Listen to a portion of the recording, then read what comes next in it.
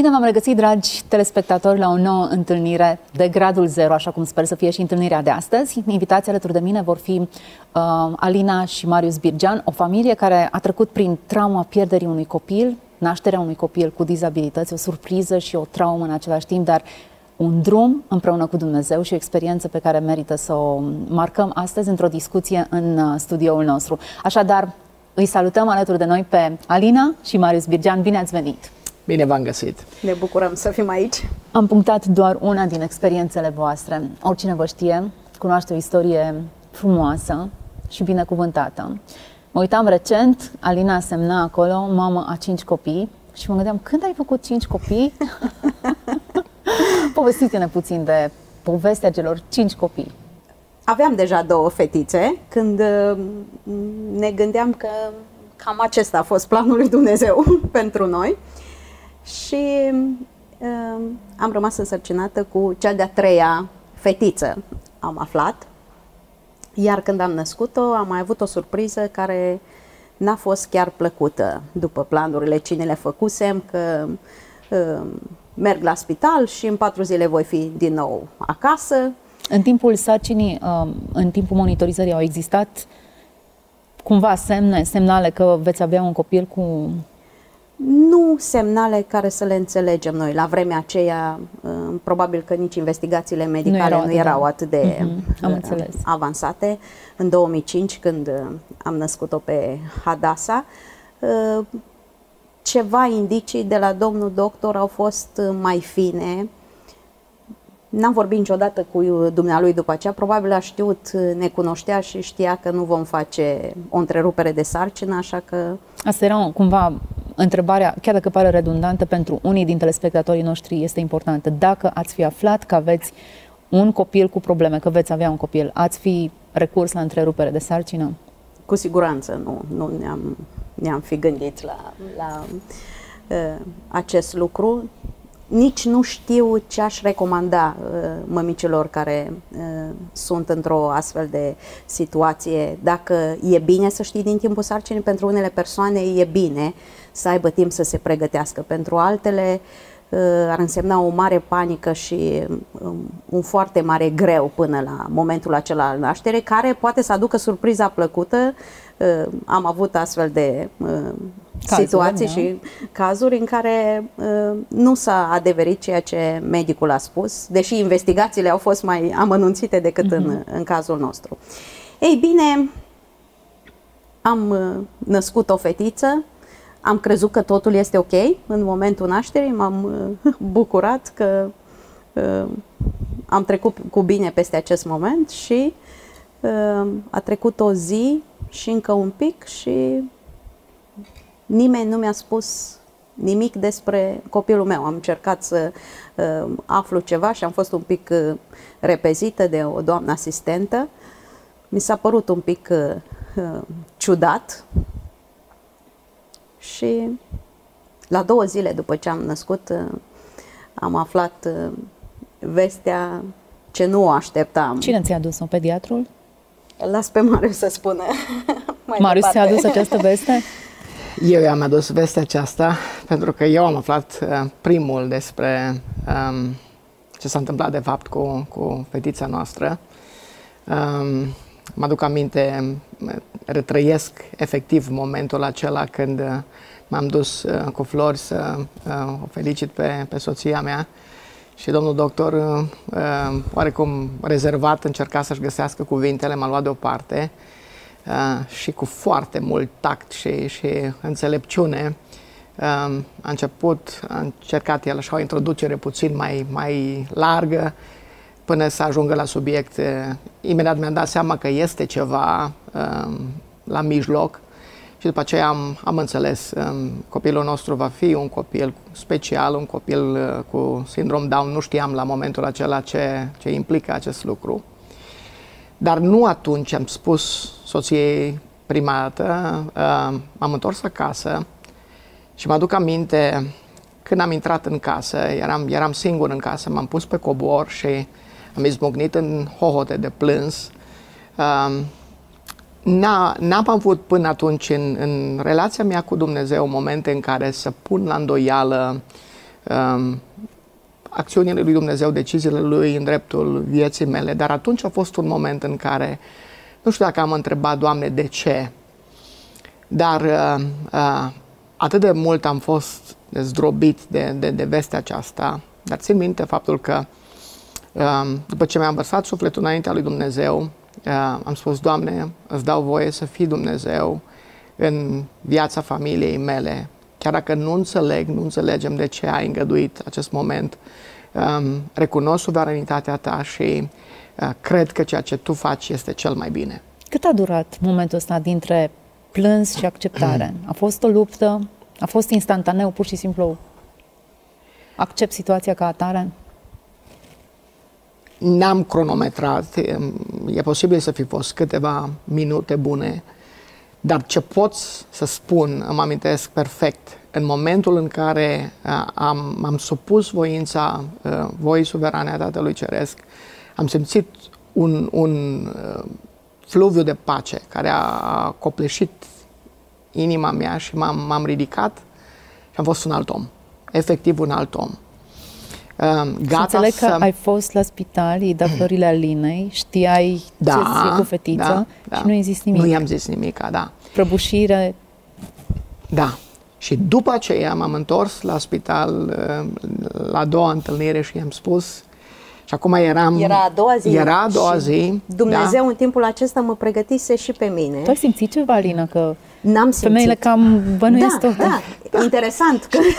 Alina, deci Eu soția mea are, are, are o intuiție extraordinară în multe, dar, dar aici, femeie. la momentul da. da, da. La momentul acela, nu, nu, n-am simțit nimic. Mi s-a părut un pic ciudat cu doamna asistentă care m-a repezit și nu mi-a adus încă copilul, dar oricum eram cam plăștită. Uh, așa că n-am simțit. Dar i-am cerut lui Marius să-mi aducă un uh, devoționar care îl primisem cu două zile înainte și n-am apucat să mă uit peste el, cu întâmplări din istoria bisericii. Și am început să citesc uh, de la ziua în care eram, mai multe zile, că eram la spital și n-aveam ce face altceva prea mult, și am dat peste suferință pe care Dumnezeu o folosește în moduri extraordinare în viața oamenilor lui Dumnezeu. Aproape fiecare pagină avea o poveste de suferință folosită de Dumnezeu într-un mod inimaginabil. Și am închis cartea și m-am gândit, eu n-am prea avut suferință în viața mea până acum. Toate mi-au mers din plin. Am avut o familie frumoasă, copilărie fericită, Uh, facultatea care mi-am dorit-o să am ființat după Revoluție pentru mine, un soț uh, cum uh, nici nu mi-aș fi imaginat, două fetițe grozave, carieră. Doamne, am zis în momentele acelea, dacă este un scop pentru care vrei să mă folosești și dacă suferința este o cale care să mă apropie de tine, mă gândesc că ești Dumnezeu și știi și ai libertatea să o folosești și în viața mea. Asta a fost rugăciunea mea, fără să N-ai știu. știut da. ce te rog. Imaginează-ți surpriza mea, care mă frământam și mă întrebam cum o să explic, ce o să-i spun, cum să introduc subiectul. Când am ajuns și um, am trecut peste orice reticență și am, am relatat, ea era atât de senină și atât de, de pregătită de Dumnezeu să, să accepte. Fantastic. Da? Modul lui Dumnezeu de a pregăti uh-huh. lucrurile. Totul e da. cu un plan, nu e nimic la întâmplare. Până da. o broșurică pe care o citești, nu o citești da. întâmplător. Și apoi când ne-am, ne-am întors acasă, uh, când ne-am întors acasă cu, cu fetița, uh, le-am luat pe fetele noastre uh, și le-am uh, introdus în această nouă realitate a familiei noastre și am fost așa la fel de plăcut surprinși de modul în care Dumnezeu le-a, le-a pregătit. Nu pricepeau ele ce înseamnă lucrul acesta, dar uh, Țin minte că ne-am rugat ca Dumnezeu să, să ne pregătească ca familie pentru uh, ce urmează să, să fie și am luat fiecare zi din mâna lui Dumnezeu, pas cu pas, uh, pe măsură ce Hadasa a crescut. Uh, am început de timpuriu terapiile și uh, am intrat într-un fel de, de rutină, dacă pot să spun așa, uh, așteptând și crezând că aceasta va fi destinul familiei noastre. Ce e cel mai dificil într-o poveste de genul ăsta? Să accepti faptul că ai un copil în acest fel? Sau suferința și perspectiva copilului e mai dificilă? Sau uh, ce vor zice ceilalți? Care sunt lucrurile care fac o povara să fie cea mai mare? Mhm. Cred că se clădesc unele pe altele. Da, este întâi uh, șocul uh, inițial, uh, după aceea te uiți la copil și îți dai seama că nu va fi viața așa cum uh, ți-ai imaginat-o, ci că trebuie luată mai la pas, mai încet și probabil nu vor fi toate lucrurile ce le-am visat ca și părinți și trebuie să schimbăm un pic uh, planurile și visurile. Un pic sau mai mult chiar, total în cazul da, tău. Da, da, de viitor. Și da, este uh, trist să spunem că în general oamenii nu știu să să vină în ajutorul sau să spună un cuvânt uh, unei familii care trece prin Ce ar trebui prin să Este o asemenea- anumită stângăcie, Da. da. Da. Pentru că oamenii atunci când sunt confruntați cu o asemenea situație, cu familii, cu copii, cu, um, dizabilități. cu dizabilități, da, um, nu știu cum să o ia. Nu, nu există practic um, o cultură în România, uh, am observat lucrul acesta ca în alte state în care aceste cazuri sunt privite ca parte din peisajul cotidian uh, și oamenii sunt mult mai, mult, mult mai relaxați. Aici este așa un amestec de compătimire, cumva, um, Evitare. evitare sau chiar judecată. Există, din păcate, trebuie Probabil să că ați făcut voi recunoaștem. ceva din moment ce treceți printr-o Absolut, experiență sigur de că genul da, acesta. da, da. Uh, dar, Dar cei mai și mulți... pentru noi a fost Da. o lume nouă care ni s-a deschis, Mhm. la care n-am fost atenți până atunci. Deci mult mai ușor uh, Mhm. am uh, depistat un copil cu dizabilități după ce am avut-o pe uh, Hadasa. Mergeam pe Uh, stradă și, și ochii de, deja ne erau formați ca să, să vedem. Și Ceea ce n-am să- văzut Ceea ce până înainte. atunci n-am, n-am văzut, da. Iată o poartă care s-a deschis într-o lume în care n-ați mai pășit și care v-a deschis noi plaje de slujire, de implicare. Absolut. Da, când credeam că suntem într-o formă de slujire, deci eu uh, lucram la, la școala mm, creștină de pe lângă biserica noastră, mă gândeam, sunt atât de ocupată în slujirea lui Dumnezeu, uh, ce altceva s-ar putea uh, întâmpla. Și iată un lucru care a spus stop vieții mele de până atunci, a trebuit să uh, regândesc toată viața mea. Ne-am rugat pentru două lucruri în acea perioadă. Ne-am rugat să putem să fim familia în care Hadasa sau Desi, așa cum noi o alintam, um, să, să crească într-o atmosferă iubitoare, să fie familia um, cea mai potrivită pentru, pentru ea, pentru nevoile ei. Și doi, ca Dumnezeu să folosească această situație a familiei noastre ca o binecuvântare și o încurajare pentru alții. Dumnezeu ne-a deschis într-un timp scurt, aș putea să spun, oportunități de interacțiune și consiliere cu familii, cu um, copii cu nevoi speciale, copii cu sindrom Down, născuți așa, um, sau familii care au fost speriate de perspectiva de a avea și la urmă um, n-au avut copii cu, cu nevoi speciale, ci copii normali. Sănătoși. da. Da. Uh, dar Deși aveau programare pentru o întrerupere de sarcină, Dumnezeu ne-a, ne-a folosit și am văzut mâna lui Dumnezeu și în privința aceasta. Sunt oameni care privesc un copil cu nevoi speciale, cum menționați voi, ca o povară sau ca o povară, cred că e termenul.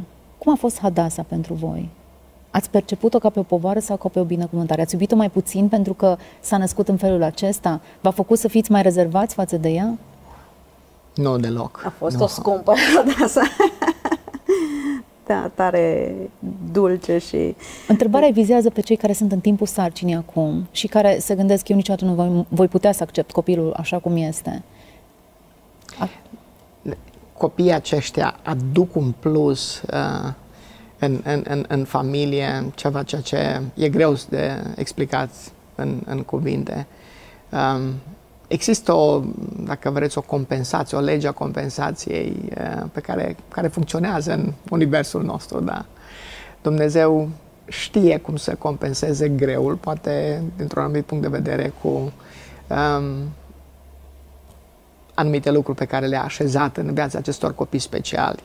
Uh, o drăgălășenie, o, o sensibilitate. Da, da, fetele noastre, fetele zâmbet, noastre, da. cele fetele mari, au fost atât de um, îmbogățite de experiența aceasta și interacțiunea aceasta. Um, fără uh, Hadasa în familia noastră, ele nu s-ar fi dezvoltat, spunem noi acum privind în urmă, retrospectiv, în modul în care s-au dezvoltat uh, datorită ei. Noi vorbim despre Hadasa la timpul trecut și cei care nu știu povestea voastră nu înțeleg de ce. Ați avut o, un an și ceva pe Hadasa în familie. Un an și șapte luni și vorbim la timpul trecut, am putea să spunem, e, nu mai este cu noi, dar este cu Dumnezeu. Da. A fost uh, un alt șoc, o altă întâlnire de, de gradul zero pentru noi, aș putea să spun, după ce uh, ne-am gândit, ok, aceasta este situația, o, o vom lua la pas mai încet uh, cu Hadasa, uh, este o lucrare nouă la care Dumnezeu ne-a chemat și pentru ea și pentru alte familii care trec prin situații asemănătoare cu a noastră, să ne trezim într-o săptămână că de la o răceală a ajuns la pneumonie, cu imunitate scăzută, la spital, în comă și am venit acasă cu sicriu mititel alb. Și am fost eu, am cu toții, toată familia, bulversați de planul lui Dumnezeu. N-am mai înțeles nimic. Am crezut că Dumnezeu ne vrea să slujim în acest fel și ne-am trezit odată că ne-a luat-o pe Hadasa. Și totuși, și totuși, chiar în acele momente extrem de dureroase, um, am simțit prezența lui Dumnezeu și puterea rugăciunilor Sfinților lui Dumnezeu într-un mod unic. Dacă n-am fi trecut pe acolo, n-am fi experimentat ce am experimentat. Uh-huh. Mă aduc aminte de faptul că în um, duminica dinaintea morții Hadasei, ea a murit miercuri dimineața, trebuia să slujesc, eram singur, trebuia să predic și de dimineață și de după masă și noaptea precedentă am stat în, în uh, uh spital cu ea pentru că l-aveam um, deja pe Mikey de șase da, luni, da. care trebuia alăptat și care nu adormea fără mine. Deci eu stăteam în timpul zilei la spital și Marius uh, noaptea. Da. Um, în într-un salon, într-o căldură insuportabilă, fără aer condiționat, um, uh, o noapte cumplită, privind la, la ea cum se stinge, um, cum, cum buzele um, mi se usucă, a, usucă de, de, de, de sete și și duminica următoare trebuia să, să predic. Am, uh, am mers în fața bisericii și um, pur și simplu m-am descărcat în fața fraților și am cerut sprijin în rugăciune. Am simțit așa o, o solidaritate extraordinară și după aceea um, frați creștini din, din a, Israel, Suedia, Statele Unite, Canada, nu mai știu de unde, ne-au, ne-au susținut în rugăciune. Am, am simțit atunci că eram, eram, nu mai eram noi. Și în momentul în care a, a survenit și am intrat, Alina m-a, m-a chemat, eram acasă, vino că se, se duce. Um, era deja decesul survenit Până ai ajuns. Când, până am ajuns, când am luat-o în brațe, în, numai noi doi uh, și ea în, uh, în, acea, uh, în acel salon, efectiv am simțit că suntem în antecamera veșniciei a cerului, că doar un pic se întinde mâna și... Uh, dar un sentiment unic al, al prezenței lui Dumnezeu și al păcii pe care am avut-o. Și apoi serviciul de, de privec și de înmormântare a fost o, o celebrare a, a speranței pe care o avem în Hristos. Că într-o zi vom... Dar așa cum spunea Alina, a fost un moment de bulversare, de întrebări, iarăși, Doamne, de ce... Ce schimbare, așa, ce de schimbare, plan. ce schimbare da. de plan, pentru că eram acum setați, am acceptat voia lui Dumnezeu. Ei. N-am știut pentru ce ne pregătea Dumnezeu în, în perspectivă. Și tot aici, ca o, ca o completare, când am aflat că Alina a rămas însărcinată cu, cu băiatul nostru, cu Micael, după Hadasa? După la... Hadasa, la un timp relativ scurt. Ca o surpriză? Ca o surpriză, da. Ne-am întrebat, Doamne, avem un copil cu probleme, ne-ai mai dat un copil, tu știi ce faci, nu spunem deciziile sub semnul întrebării, dar vom reuși? Privind retrospectiv ne-am dat seama cât de bine a picat într-un sens, pentru că a fost o altă dinamică a gestionării um, um, Trebuia durerii. să vă focalizați pe bebeluș Trebuia să ne focalizăm. Și a fost o mângâiere. Micaela mm-hmm. a fost cu adevărat o mângâiere pentru noi atunci și ne-a dat putere să ne gestionăm um, um, jalea într-un mm-hmm. alt mod. Și ne-a forțat. Da. da. Dacă venirea unui copil cu nevoi speciale a fost o surpriză și un șoc și a durat ceva, un timp de ajustare, plecarea ei a lăsat o durere și v-a determinat să, să faceți alt pași. Cu siguranță plecarea a fost mai dureroasă decât venirea și a necesitat un alt gen de ajustare la situația dată. Da. Anii au trecut și iată-vă acum părinții unui alt copil cu nevoi speciale, care este și adoptat. O surpriză pentru toată lumea. Cum a venit Levi în familia voastră? Levi a venit prin fetele noastre, putem să spunem. Este un obicei în familia noastră și acum uh, devaluăm acest uh, secret al familiei ca o încurajare pentru alții în fiecare uh, început de an. Ca orice familie, adoptăm rezoluții și hotărâri noi pentru noul an și într-un an la, cred că 2012, da? La începutul, la începutul 2012 am fost surprins să auzim pe, pe Debbie, a doua fata noastră, zis, ce-ar fi dacă am face ceva mai semnificativ decât în anii trecuți? Am zis, ce anume, la ce te gândești? Păi zice, să adoptăm un copil, să schimbăm viața unui copil pentru totdeauna. Wow! La așa ceva nu m-am gândit, mărturisesc. Uh, uh, dar am luat-o așa și am zis, sună interesant, haideți să, să punem înaintea Domnului ca și Acum proiect. să fim drăguți cu ea, da. am spus, sună interesant. Dar n-ați luat-o în serios? Eu am, fost, eu am fost cel mai greu, trebuie să recunosc aici, de, de convins. Uh, la momentul acela la momentul chiar ăla. nu ne-am gândit da. Uh, serios la asta. Am trecut mai departe, au trecut vreo șase luni, timp în care fetele m-au cooptat și pe mine în echipa lor mai era Marius de...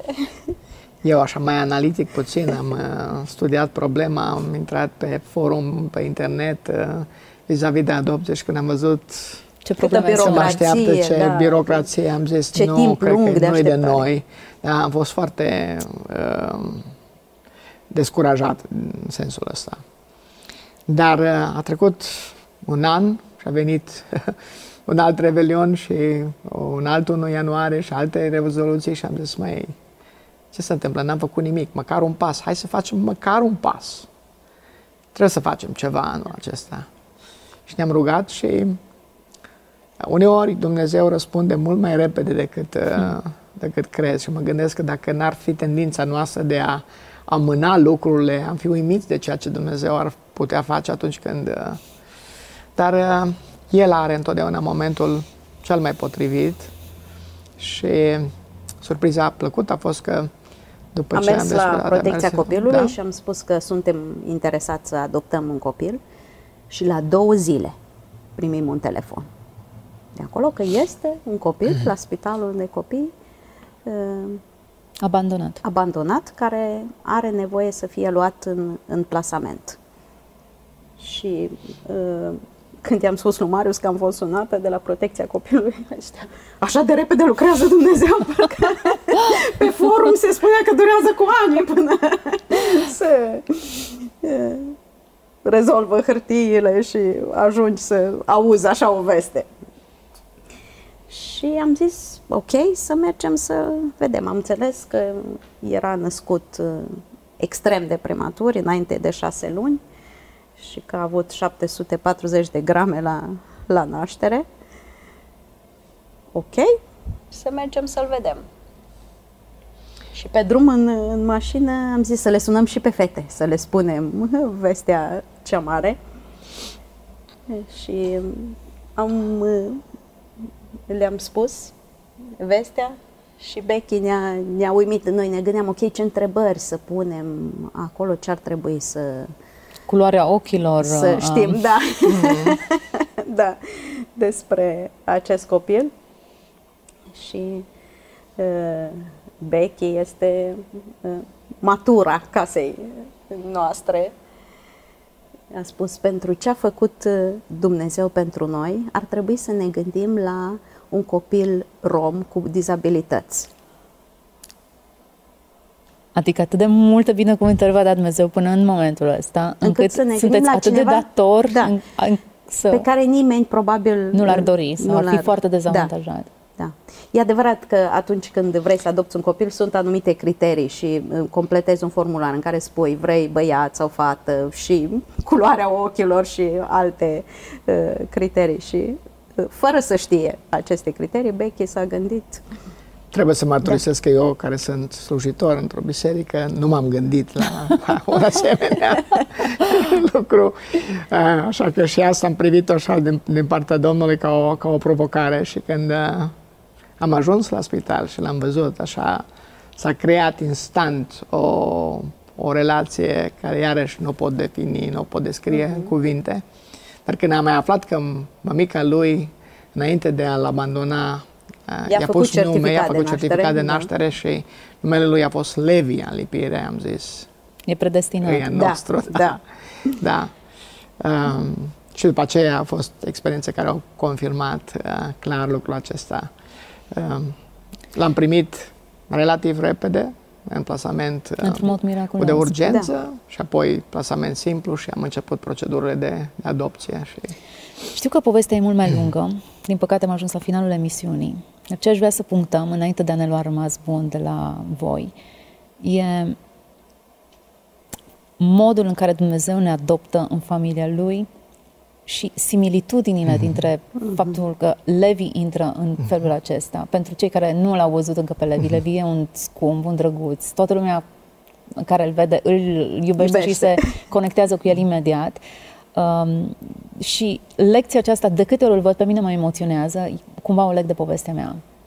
Poziția noastră de aleșea lui Dumnezeu, legată de povestea băiețelului vostru.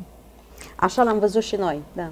Au fost a, a, fost, a fost un moment în care, pur și simplu, ca, iarăși, ca predicator Evanghelie, care am predicat Evanghelia în atâtea circunstanțe, dar să vezi pur și simplu în familia ta ilustrația aceasta a Evangheliei, a fost un moment al revelației, când m-am gândit, Levi uh, este, este clar, uh, o, o imagine clară a ceea ce Dumnezeu a făcut cu noi niște păcătoși care nu merităm, nu avem niciun merit înaintea lui, nimic să ne recomande, um, fără speranță, fără perspectivă, um, nevrednici, ne în stare de a aduce um, vreun beneficiu uh, și totuși uh, am devenit obiectul alegerii lui Dumnezeu și Dumnezeu ne-a luat și ne-a pus în familia lui.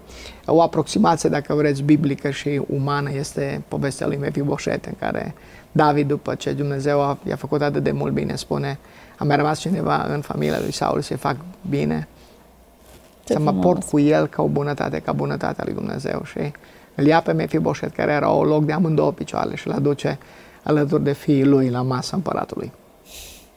Frumos și încurajator. Poate printre cei care ne-au urmărit sunt femei însărcinate care se luptă cu dilema avortului, fie că a fost diagnosticat sau nu copilul cu o boală. Cred că mărturia sau povestea voastră de viață arată cât de multă dragoste, câtă speranță poate să pune Dumnezeu într-o poveste de acest gen și că un copil niciodată nu e un accident și nu e în plus.